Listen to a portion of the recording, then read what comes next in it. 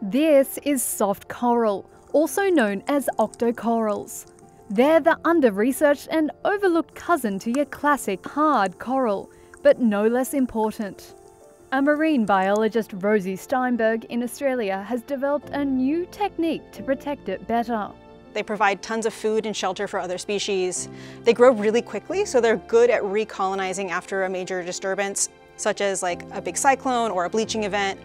Um, and honestly, they're just beautiful and they deserve all the research that hard corals get. Steinberg's technique is based on doing a soft coral health check. This identifies which corals are most in need of protection from marine heat waves. If you tried to just protect everything all at once, you'd run out of money in 10 seconds. you'd run out of money, you'd run out of people, you'd run out of everything that you need, all your resources. So you need to know specifically like, yes, these are the species that we need to protect. These are the species that are gonna be fine no matter what we do. And that's kind of the importance of going through and looking species by species by species. How does a health check work? The first step is to grind up wet frozen soft coral samples to create a sort of puree. You blend them down and then you put them in a centrifuge, which is basically a giant box that spins them super fast. And what that does is it pulls down the heaviest things, which are the algal cells, and leaves all of the other stuff like the coral protein up in the water.